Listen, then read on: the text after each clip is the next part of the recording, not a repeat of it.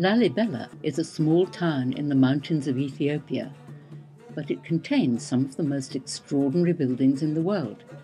These churches were cut out of solid rock, cut down into the ground.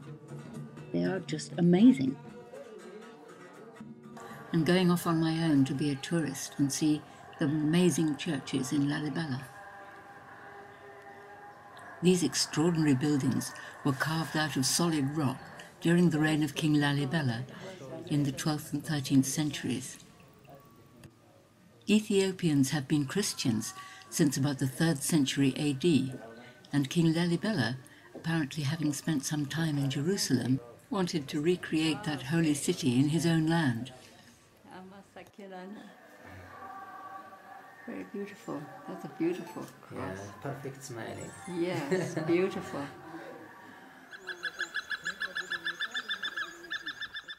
The hornbills sing an evening duet as the sun goes down over Bet Georgis, the best preserved of all the churches, dedicated to our old friend St George, who you might have recognized behind the priest.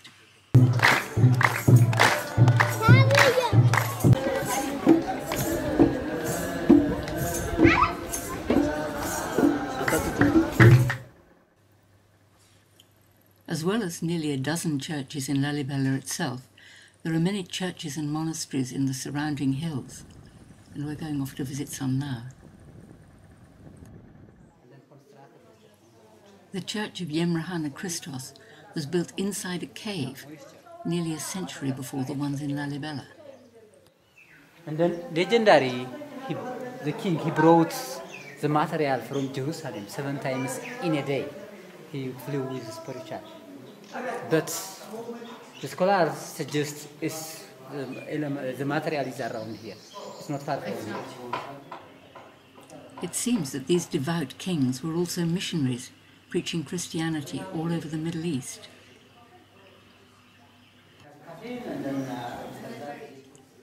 King Yemrahana Christos, who built this church, is buried here, and so many pilgrims came to this holy place wanting to die here as well that their bones are still kept in heaps at the back of the cave.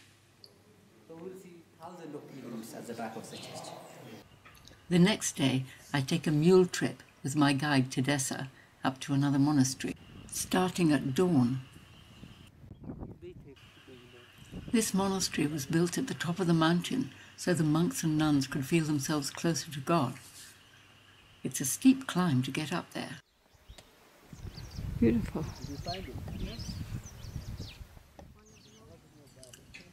This lovely smiling nun is one of the few monks and nuns who still live there. There are only a couple of them. She looks much happier than most of the priests I've seen. Most of the priests come in from the villages because priests can be married in Ethiopia, though not if they want to be bishops. And how old is this painting? It's 700. St. George slaying the dragon. Just, yeah. St. George.